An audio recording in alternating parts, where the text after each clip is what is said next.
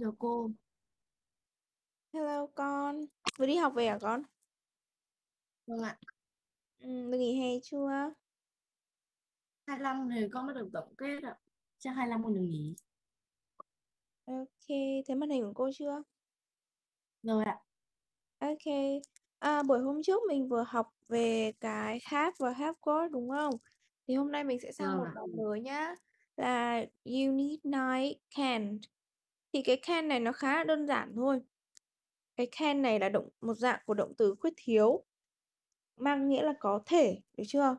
Cái có thể này có nghĩa là những cái kiểu gọi là năng lực của bản thân mình ấy, mình có thể làm gì? Ví dụ như là I can sing này, I can swim này, tôi có thể hát, tôi có thể bơi. Đó.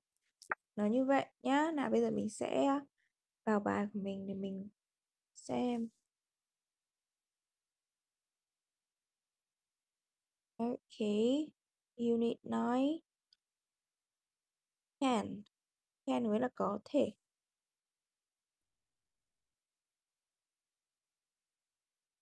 Và trước khi vào bài thì mình sẽ nghe một cái, cái đoạn hội thoại này nhé.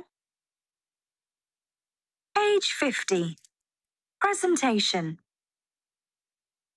Hello, Corky. I'm Danny, and I can talk. Can you walk?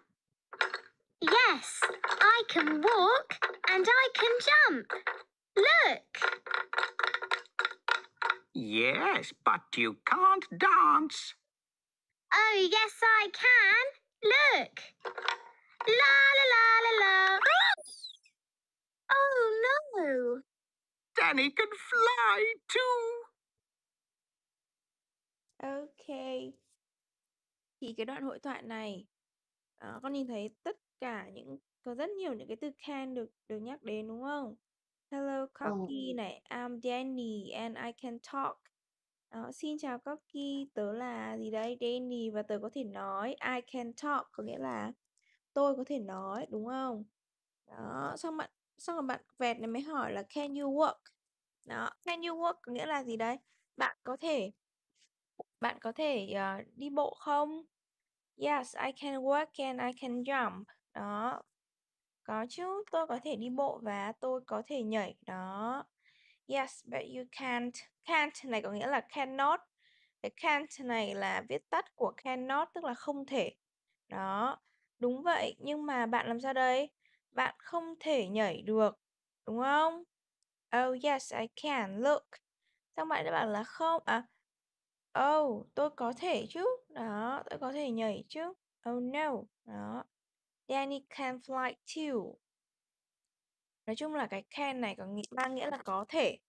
Và nó sẽ không phức tạp như những cái cái mình vừa học, tức là những cái trước mình học là à với chủ ngữ này thì mình phải chia thế này như kia nhưng mà không. Với cái từ can này thì rất là dễ dùng thôi. Nó dùng được trong tất cả các chủ ngữ đều là can thôi và tất cả những cái động từ đi sau nó con nhìn này. Talk này, work này, jump này đều là động từ nguyên thể giữ nguyên, không cần phải chia gì cả. Nhá. Đặc điểm của những cái từ mà đi đằng sau động từ khuyết thiếu như là can, could, should, might à, các thứ thì nó đều sẽ là verb nguyên thể và không phải chia. Đó. Page 50. Đó, và đây sẽ là cái phần cấu trúc của nó. Đó, con thấy không? Thì mình vẫn có positive ở đây là thể khẳng định nhá. Negative là nghi vấn, question là câu hỏi và short answer, à, short short answers là những cái câu trả lời ngắn. Thì nhìn cho cô vào cái bảng positive này này. Thì tất cả các chủ ngữ này I, you, he, she, it, we, you, they đều đi với can. Đó, nó chỉ có nó chỉ có một cái cái can này đi được với tất cả các chủ ngữ và đằng sau nó sẽ phải đi với động từ để thể hiện là mình có thể làm được việc gì. Ví dụ như là I can talk có nghĩa là tôi có thể nói được. I can jump là tôi có thể nhảy được. Đó. Cậu à, đi đằng sau những cái động từ uh, khuyết thiếu như can, could, should, might như thế này này. Mình sẽ đi với cả verb nguyên thể nhá, những cái động từ nguyên thể không chia. Còn nhìn cho cô sang cái cột negative thì sao đây?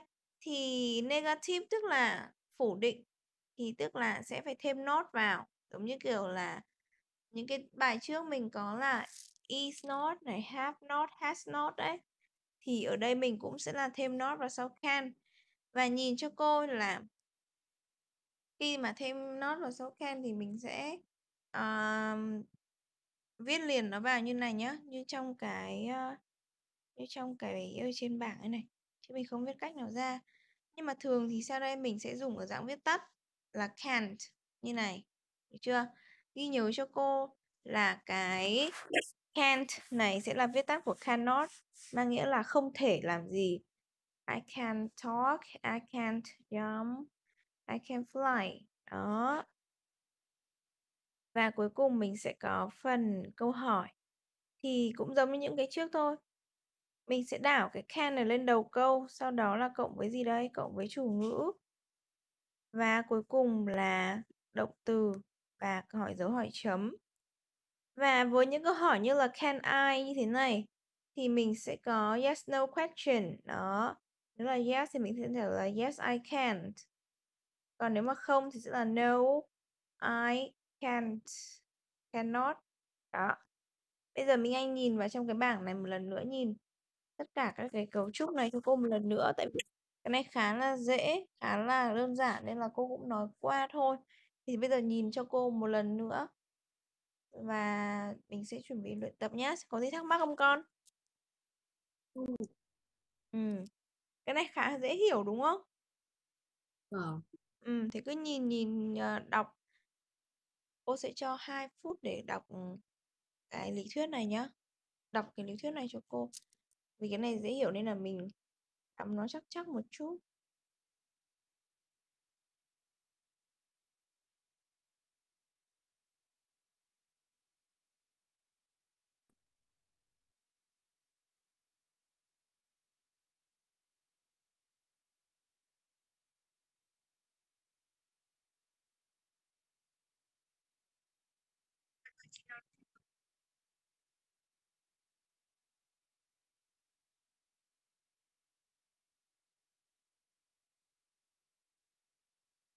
Minh Anh đọc xem xem là có gì không hiểu thì hỏi cô nhá. Ôi, con đọc xong rồi. Ừ, hiểu rồi đúng không? Vâng. Rồi, ok, bây giờ mình sẽ luyện tập một chút này. Practice, mình sẽ có practice nghĩa là luyện tập nhá. Ok. Task 1, write can or can't. Nhớ cho cô là can't có nghĩa là không thể, là viết tắt của cannot và can và cái từ can bình thường này tức là có thể. Được chưa? Và ở bài này mình có Vâng. tất cả là 9 câu và mình sẽ nhìn xem, nhìn vào cái thái độ sắc mặt của người ta. Đó. Xem là người ta có làm được cái việc đó không. Ok chưa? Và cô sẽ Vâng. giải nghĩa một số từ trước khi mình làm nhá để cho nó bỡ đỡ bỡ ngỡ này. Thì có read, cái từ read này thì con biết nghĩa là gì chưa? Con nhỉ? Chưa? Nào bây giờ thế bây giờ cô sẽ đọc đến từ nào thì ghi cho cô từ mới vào vở luôn nhá, được chưa? Read cơ mà. Bây giờ cô đọc này. Tất cả những cái từ mà tất cả những cái từ này nhá, như là read, như là work, như là count này này thì nó đều là gì đấy? Những cái động từ. Được chưa? Và những cái động từ này là mình phải biết nhá. Tại vì những cái động từ này là những cái động từ mà rất cơ bản. Thì đầu tiên mình có read. Ghi vào vở cho cô nhá. Cho để cho nhớ này. Đầu tiên mình có read là đọc. Ví dụ là read book là đọc sách. Được chưa? Rồi ạ. Rồi, tiếp theo là walk. Walk là đi. Walk là đi nhá.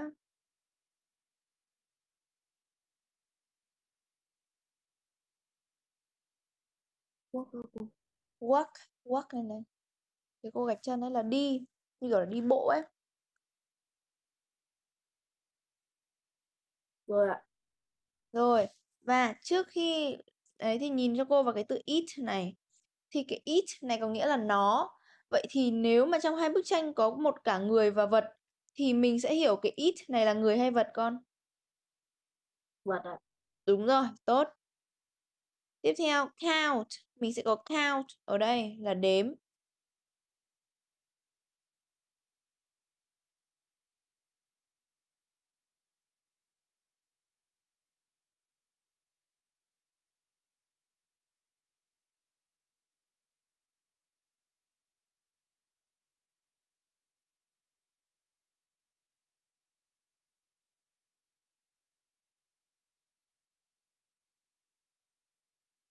Count là đếm nhá.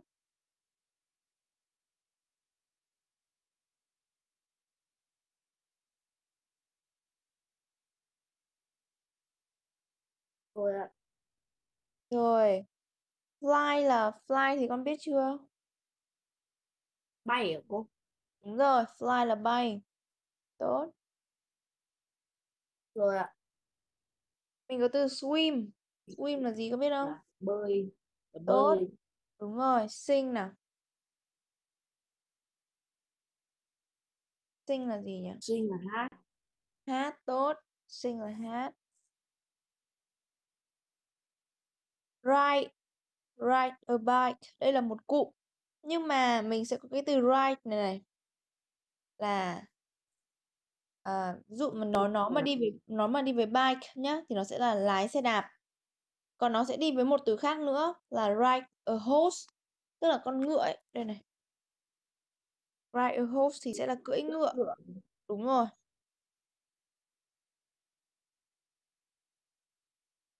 Ride a horse là cưỡi ngựa. Nhưng mà ride a bike sẽ là lái xe đạp. Và cuối cùng là jump. Nhìn tôi có vào từ jump nào. Từ jump này nghĩa là gì con biết không? Bò. Không, jump mình sẽ có là nhảy.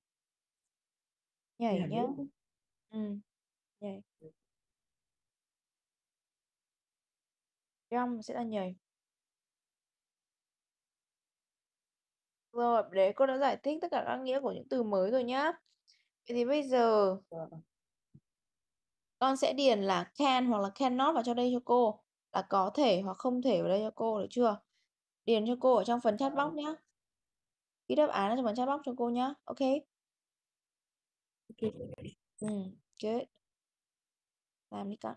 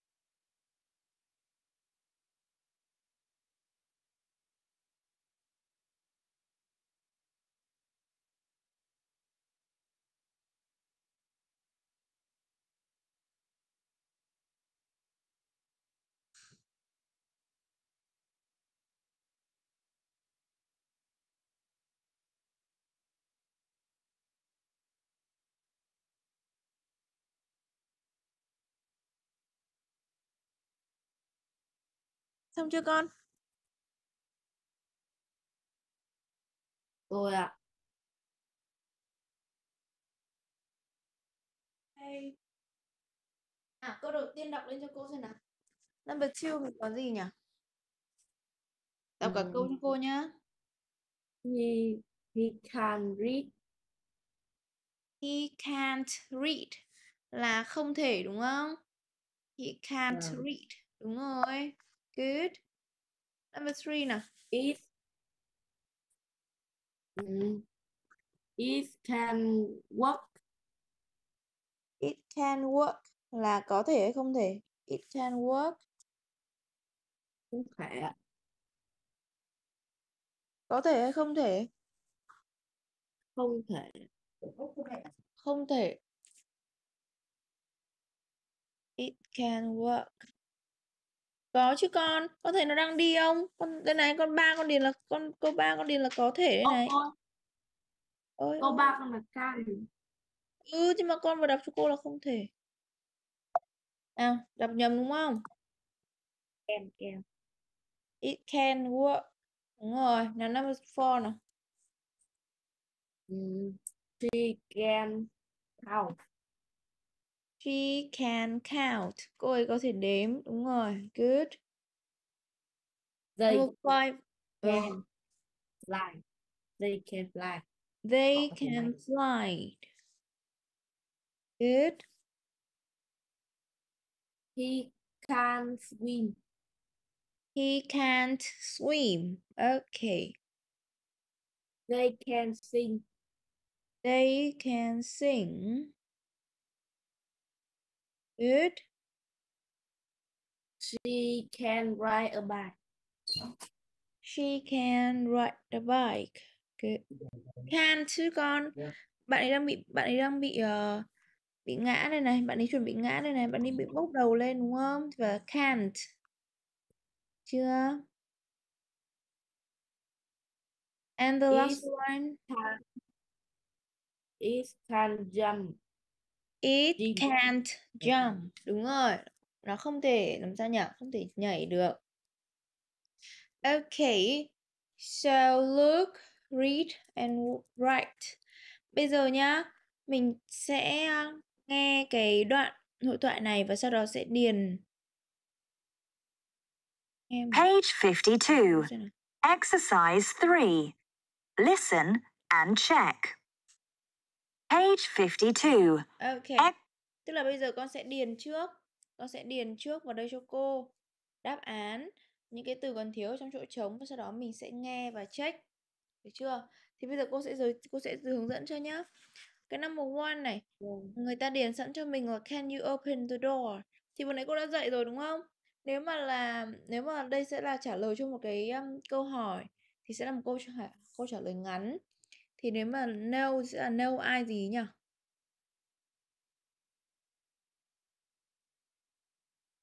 no I can Can là viết như nào? Can là là can't hay là can? no I can.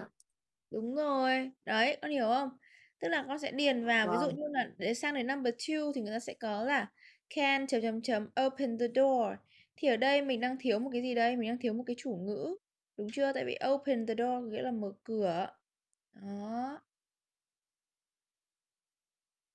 Đến bài câu bài 3 cũng thế, bài 3 cũng sẽ là vì ở đây mình thấy dấu một dấu hỏi chấm thì ở đây sẽ là phải là một câu hỏi này. Đó, đây sẽ là một câu à, câu trả cô lời. tôi nói luôn Con nói luôn nhá. Vâng. Rồi, nào thế number one là gì nào? no I can à, no I can No, I can't. Rồi, tiếp number two. David can they open the door Dave, can you can you Ừ. open the door? Đúng không? Bạn ấy đang đang đang đang bảo một người khác mà. Can you open the door? Tiếp nào, ở dưới thì sẽ là gì? Ừ. can you open this boys can you Đây đây đây đây cơ mà. Câu này đã điền nó cô đâu? Đây câu này đã điền nó cô đâu? he can he can use the door He can gì đây? He can't. He Ở đây can't người đang có use là the door. He can't use the door là sao sao được? Dave, can you open the door? Thì ở đây người đang hỏi là Dave, cậu có thể mở cửa được không? Thì ở đây thì ở dưới mình sẽ phải trả lời gì? Cậu ấy không thể chấm chấm chấm cái cửa. Thì sẽ là không thể gì đây? Open chứ đúng Không. Ừ. Thì mình phải cho cả cái open the door này xuống đây. Chứ Dave, can you open the door? Đó, he can't open the door. Anh ấy không thể mở được cái cửa này đâu. Nào đến câu 3 nào. Can you open it, boys? Can you open it, boys? Đúng rồi. Tiếp nào. Câu đợi, câu bảy.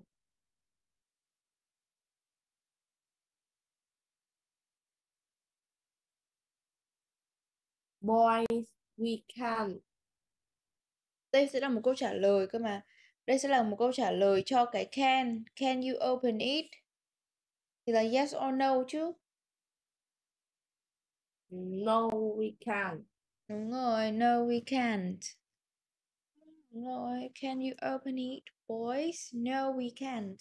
Tại vì ở đây mình đang xuất hiện cái gì đây? Mình đang xuất hiện một cái câu hỏi, đúng chưa? Thế cho nên là mình sẽ phải có một câu trả lời tương ứng với nó, chứ không phải là boy. Nếu ví dụ con điển đây là boy we can, thì làm sao nó hợp lý được? Tại vì ở đây là chúng tôi rồi, chúng tôi không thể. Thì boy ở đây nó không có mang, không mang ý nghĩa gì hết. Được chưa? Number four nào. Cocky, you open the door with this key. Có đây vậy mình đang mình đang làm gì con? Mình đang làm bài về câu hỏi can, cannot cơ mà. Đúng không? Thì ở đây nếu mà có câu hỏi thì phải có câu hỏi là Can can you you chứ. Can you? Can you? Can you open the door with this key?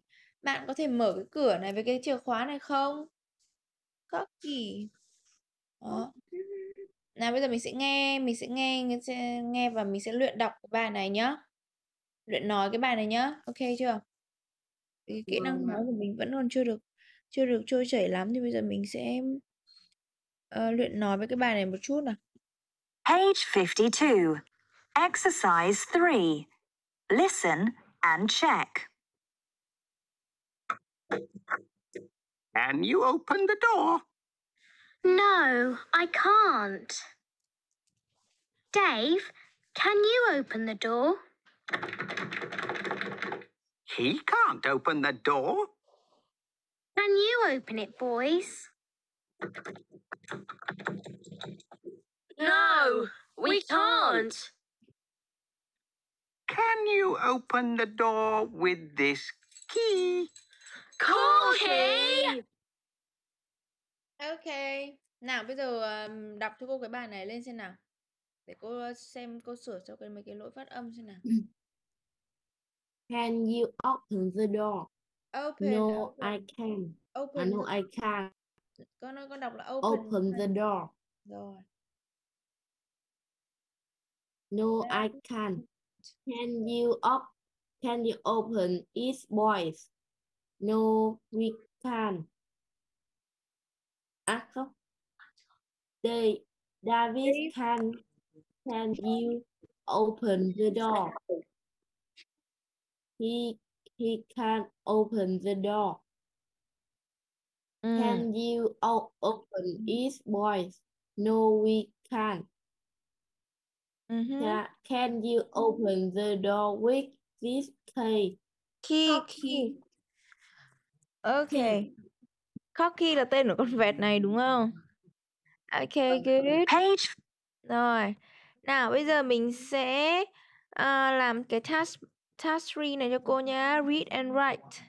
Bây giờ sao nhỉ? Bây giờ mình sẽ à, điền vào đây những cái gì đây? Đây là những cái câu hỏi nhá. Và mình sẽ phải điền là mình sẽ điền được là yes or no dựa vào cái gì? Dựa vào con nhìn thế này. Ví dụ đầu tiên, number one con nhìn đây người ta điền được là can vào trong cái ô trống này nhá. Can Corky fly? Corky có thể bay không? Thì mình nhìn khi mà mình nhìn thấy từ fly ở trên này nhá. Đây. Rồi, cô bật bán mất rồi. Ờ, khi mà mình nhìn thấy từ fly ở đây nhá. Con thấy chưa? Thì con đối chiếu lên cái bảng này cho cô. Nếu mà nó tích như này thì tức là có thể làm được thì mình sẽ điền là yes he can. Được chưa? Còn nếu mà nó ví dụ dưới này đi, ví dụ là dance đi, là là nhảy đi. Thì mình đối chiếu với dance ở đây mình thấy là x thì tức là nó không thể làm được thì mình sẽ phải để là no. No they can't. Được chưa? Và mình sẽ phải dựa vào những cái chủ ngữ này để mình trả lời tương ứng với nó. Joey sing, she này, run fast. Ryan and Dave thì mình sẽ có cái chủ ngữ tương ứng với nó là they, là họ. Được chưa? Ryan and Dave phải là chỉ trả lời sẽ là phải là they. Và ở đây thì nó có dây sẵn rồi nên mình sẽ tự trả lời được. Đó, các con hiểu bài này chưa? Rồi ạ. Rồi, thì bây giờ ngồi làm cho cô nhé.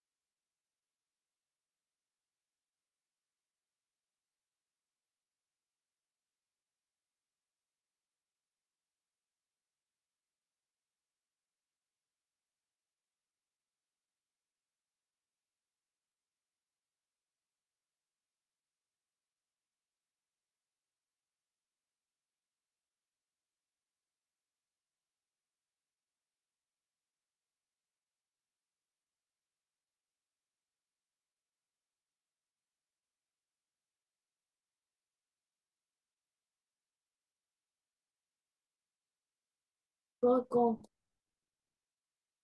Ơi con. cô cho con sửa cái chỗ no I can này này thành uh, no he can. Ở câu 2 à con? Câu 2 á? Vâng ạ. Ừ, rồi ok.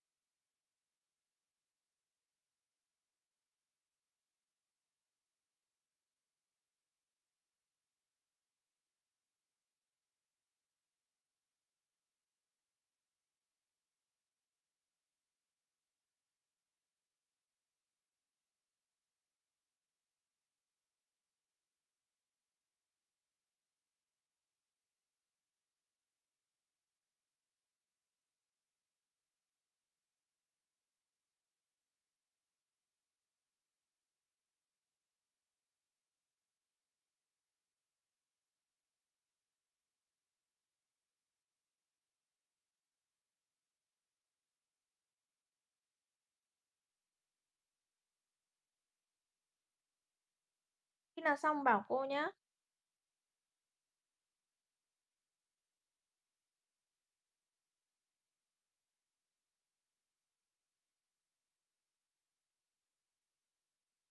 Thôi chứ không kiểm tra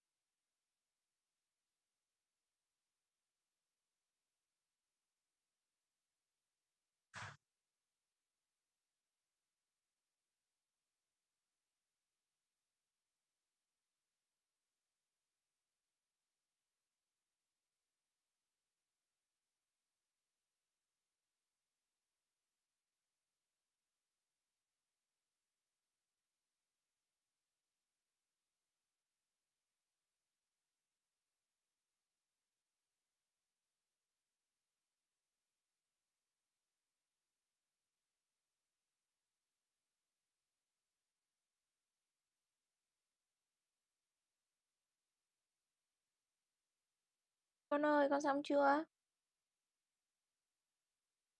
Xong rồi ạ Ừ, thế mình chữa nhá. Xong bảo Vâng. cô chứ, không gọi tưởng chưa xong. Number two. Number two mình có là gì đây nhỉ?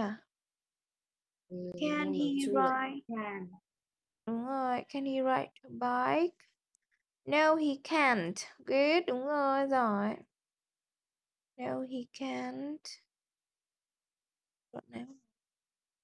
No, he can't nhá con nhá. Number three là Vâng. gì? Can Joey sing? Yes, she can. Okay. Number four. Can she run fast? Anh à, cô ấy có thể chạy nhanh được không? Can she run fast?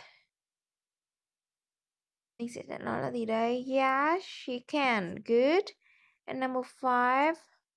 Can Brian and Dave dance? Tại vì tại vì Brian và Dave là hai người nên là mình sẽ phải trả lời là yes. Tại... Câu 5 thì phải là no chứ đúng không? Đây này dance thì bạn ấy x thì mình ơi. Ơi.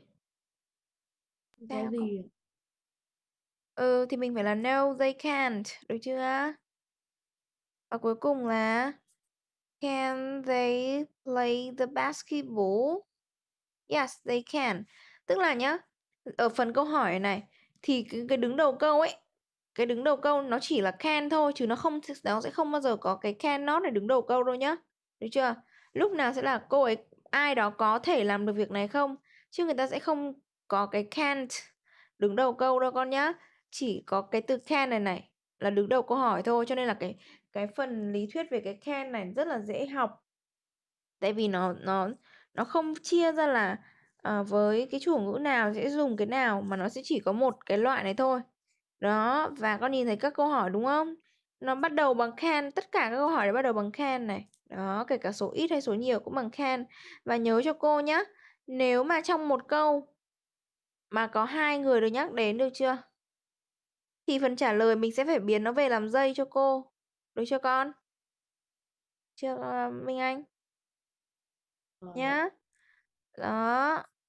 Nhớ cho cô là nếu mà ở trong câu hỏi hoặc ở trong bất kỳ cái gì mà có hai có hai cái người xuất hiện thì ở câu trả lời mình sẽ phải biến về làm dây cho cô nếu nó là yêu cầu một câu trả lời ngắn gọn. Và tương tự như thế, nếu mà hai hai hai cả người và vật cùng xuất hiện thì nếu mà cái it nếu mà xuất hiện cái chủ ngữ it thì mình phải nhớ đến ngay là it sẽ chỉ vật. Được chưa? Nào, được chưa nào? Còn tí thắc mắc về bài này không con? Không ạ. Ừ, rồi tốt. Bài này hôm nay học học tốt đấy. Good. Nào, tiếp theo mình sẽ có task 4. Put the questions in the correct order with right choose answers. Đó, can you can you drive a car? Được rồi, đây sẽ là một cái cái bài tập là con sẽ phải sắp xếp lại câu và sắp xếp lại những cái từ này đó để cho thành một câu đúng. Đó, lần trước con nói về cái bài này đúng không? Cái dạng bài kiểu như này đúng không? Sắp xếp từ Vâng. sắp, sắp xếp từ lộn xộn đấy. Thì mình sẽ sắp xếp được tất cả cái từ này trong một câu này để thành một cái câu uh, có ý nghĩa cho cô nhá.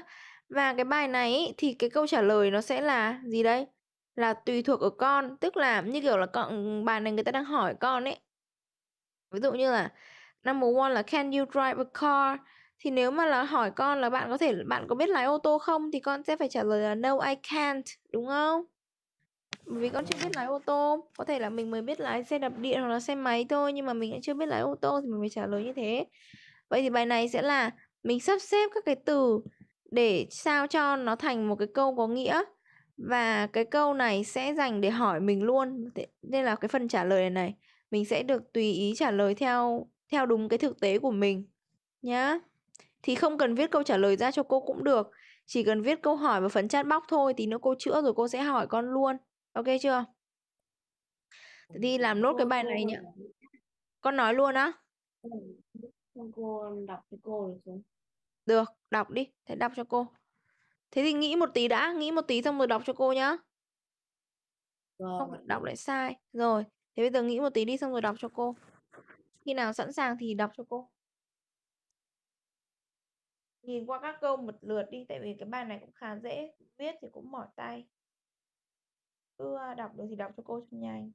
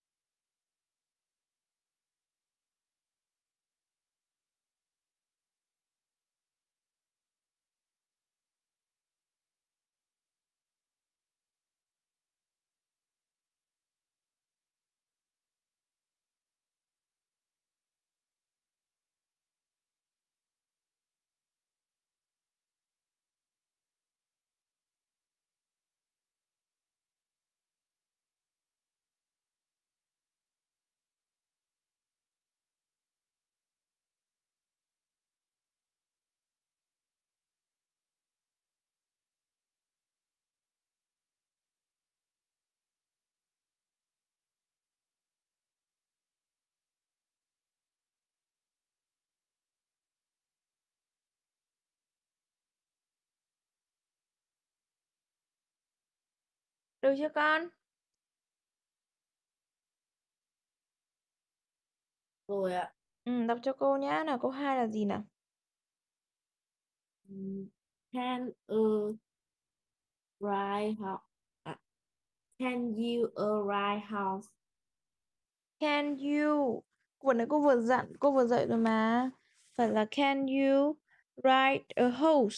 Nhớ cho cô cái cụm ride a horse này có nghĩa là cưỡi ngựa nhá. Chưa biết thì ghi vào cho cô. Ride a horse là cưỡi ngựa. Được chưa? Can you ride a horse? ừm. Con sẽ trả lời luôn không cô? Có, trả lời đi. Ừm. No, I can't. Okay, number three nào. Can you play basketball? Can you Yes, play I basketball? Can. Okay, Yes, I yes, I can. can. Okay, thật á? Con biết chơi basketball thật hả? Vâng. Okay, good. Number four nào. Can you play gui- Can you play the guitar? Can you No, I play the Okay, can you play the guitar? No, I can't. Okay, good. Number five now. Can you run fast? Can you run fast? Đúng rồi. Bạn có thể chạy nhanh không? Can you run fast? Yes, I can. Mm, okay, good. Yes, I can. And the last one? Dạ. Chưa. The Ừm, last one nào. Can you swim? Yes, Okay. I can. Okay, tức là con rất là con con biết chơi nhiều môn thể thao nhỉ? Good đấy, Vâng. giỏi đấy. Ok, vậy thì hôm nay bài hôm nay của mình sẽ à, dừng ở đây nhá. Được chưa? Vâng ạ. Rồi, ạ. bây giờ ngày buổi sau mình sẽ à, học nốt cái bài này. Okay, so goodbye, see you soon. Goodbye, teacher. Ừ, ok.